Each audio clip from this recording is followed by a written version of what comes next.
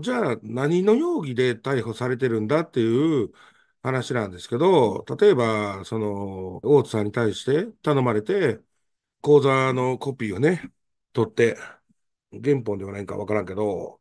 それを、まあ、他人にね、渡してるわけなんで、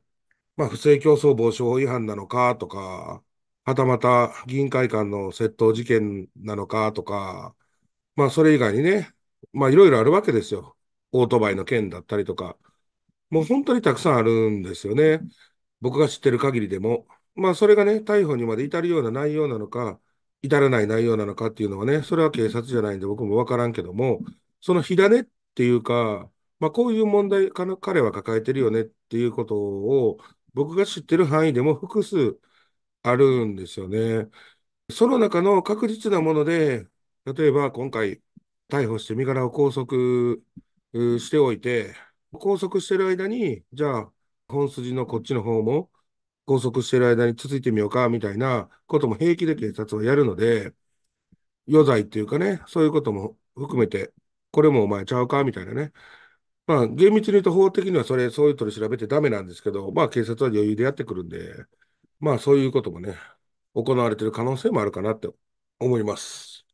ただですよ、まあ、リテラシーの高い皆さんはわかると思うけど、逮捕されることが悪いことではないというか、一般的に生活してたらなかなか逮捕されることないんですけど、逮捕されることが悪ではないですからね。厳密に言うと、逮捕されて取り調べの中でね、これは有罪になるだろうということで、警察側とか検察官とかが、これは起訴して裁判にかけましょうっていう判断をして、起訴をされて、ガーシーみたいに判決まで行って、そこで、ね、執行猶予付きでも有罪判決だったとか、ってなってから初めて悪なんで、起訴されずに不起訴になれば、何ら問題ないわけですよ。推定無罪の法則っていうのがあるので、カモフラチャンネルは昔逮捕されたことがある。あるよ。だから何？っていつも言ってるじゃないですか。でも、俺、不起訴になってますよ。不起訴処分告知書もありますよ。見たい人には見せてあげてますよ。何かっていう話なんですよ、僕からするとね。それと一緒で、逮捕されたことが悪、悪い、あいつは悪いやつなんだって思ってるやつっていうのは、本当に情弱で素人なんですよね。ちょっと人殴ったら逮捕ってされますからね。でも相手が怪我してなかった、お互いね、もう許し合ってるってなったら、じゃあこれ以上事件化しても、裁判にかけても仕方がないし、殴られた側もそんなに、あいつ懲らしめてくれって処罰感情を出してない以上、もうお互いで話がついてるんだったら、もう今回、不起訴処分でいいでしょうということで、人殴って逮捕されても、そのまま不起訴になる人もいるし。なので、今回、今現在分かっていることというのは、ほぼ確定として僕は喋りますけど、立花さんの情報を100%信用してね、斉藤忠之君は逮捕されたそうです。でも、ぶっちゃけた話、ああ、そうなんっていうレベルの話です。今現状はね。大事なのは、起訴されるのかどうか。仮にそこで不起訴になりましたってなれば、あ、逮捕されとって拘束されてたけど、不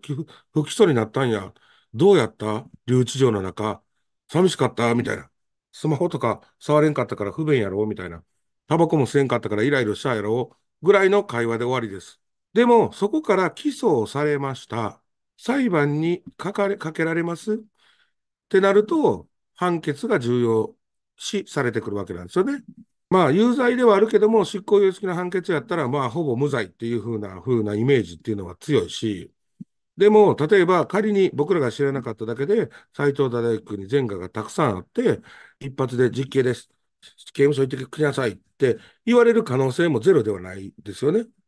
僕らが知らないだけで。おそらく前科は僕はないと思ってるので、今回やっぱり引っ越しちゃったっていうのが、それをね、警察に伝えてたのかどうかとか、そういうことを考えるとね、逮捕までわざわざ普通はしないんですよね。普通はしないんだけども、今回逮捕してるってことはどういうことなんだろうなっていうふうに思うよね。普通に奥さんもいるし、証拠隠滅の恐れってなると、僕らが知らないようなことをやってて、それに対する証拠を、例えば携帯のデータを消したら困るとか、もろもろそういうのがあって、通常逮捕とかなったのかもしれないけども、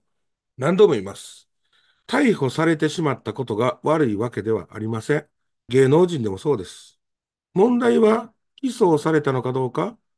不起訴になったのかどうか、そこが第一ですね。で、仮に起訴をされても判決がどうなったのか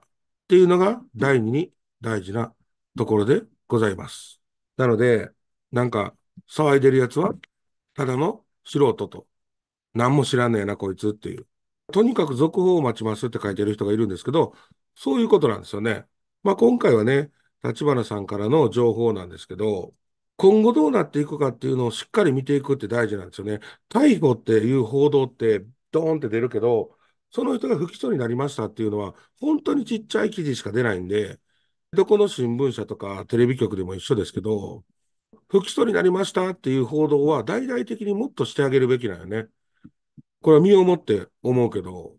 と、まあもちろんイメージは悪くはなります。イメージはね。逮捕されてイメージが良くなる人はいないんで、その人のイメージは悪くなりますけど、一時的なもんです。時間が経てば経つほど、でも不起訴だったらしいよとか、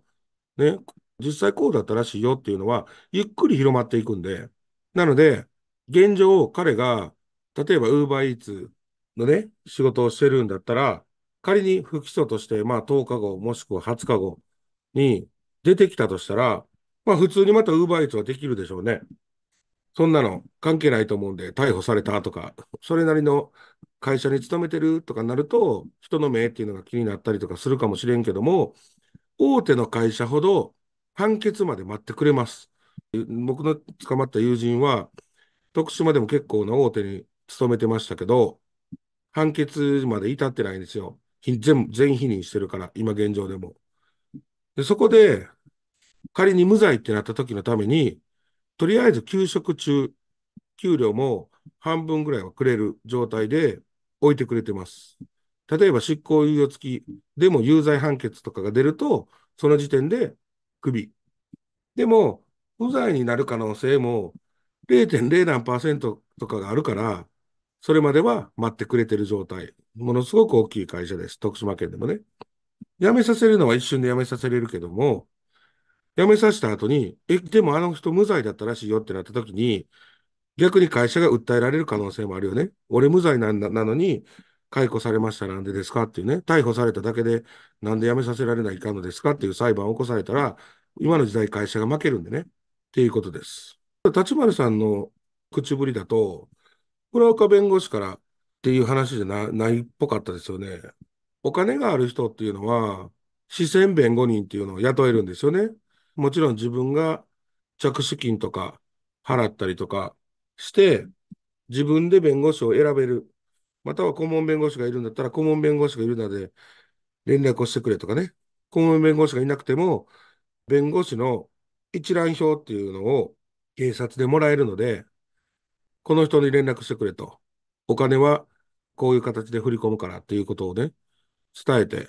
で、面会したりとか、っていうのが視線弁護人を選ぶ権利があります。でも、じゃあ着手金30万とか50万とか払えない人がどうするのと、国選弁護人っていうのをつけれます。国が選ぶ弁護人ね。弁護士さんつけたいけどお金ありませんっていう人が、国が選んだ弁護士さんが担当します。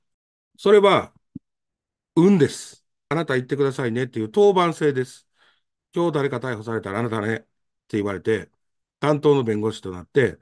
それが殺人犯かもしれないし、万引きしてしまったおばちゃんかもしれないし、めっちゃ楽な事件かもしれないし、めっちゃ難しい事件かもしれない。国選弁護人。それは、お金は自分で払えないから、国が払います。